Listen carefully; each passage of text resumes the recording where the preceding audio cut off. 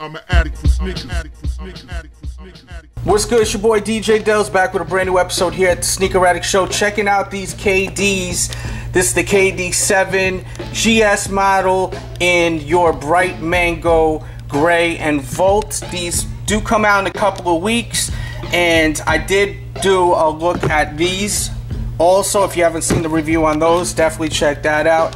I'm impressed with the model. It's interesting seeing another colorway of these. And in my opinion, I think the shoe's hot. I like the 7 more than the 6. And that's a beautiful thing when you like the new model more than the old model. Sometimes, you know, it takes a second for you to absorb what you're seeing and grow to love it or grow to hate it. but this one, really feeling these right here. You got your bright mango upper where it's synthetic over here. And then you got this mesh over here up top. And you have your silver swoosh right there with this design.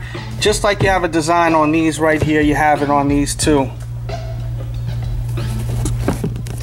The strap is gray as you can see with your 35. And on the laces, they're flat. And you have your stitching of yellow. You go up top, you got your KD logo. There's a look at the inner upper of the shoe. As you can see, you got another swoosh right there. You got your air unit in the back. There's a look at the back of the shoe right there.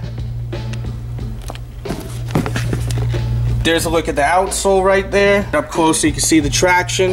And I will try to get a review in on the men's version as soon as I have the opportunity. Right now, my only opportunity is to shoot the GS models, but I don't think there's really any reviews really up for, that I've seen yet. So I know heads are very interested in seeing what the 7 looks like, especially with different colors. Now that we've got two different colors now, let me know your thoughts. I personally like the USA color, but leave your thoughts on the shoe now that you're seeing different colorways. And let me know your opinion on this model. Let me know your opinion on this model versus last year's model. Leave your thoughts. Hit the like button if you're loving the show. Make sure to check out my blog, thesneakeraddict.com, morning, noon, and night like clockwork. If the camera work is a little off, I apologize. My monitor screen is off right now. It's broken, so I haven't had the chance to get a new camera. I'm just trying to shoot these episodes, and um, if it's a little off, I apologize in advance.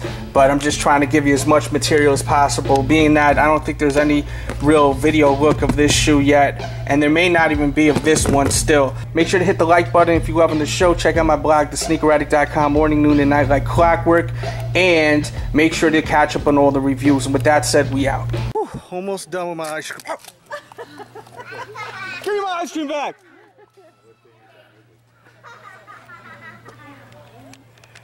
This ain't my ice cream. Unbelievable. DJ Dallas. This bird's crazy. Why are you upset? The name's right there. I wanna watch Is it recording? Let's, let's Yeah. see the bird this thing. All right, we gotta go this way. Okay. Oh my god.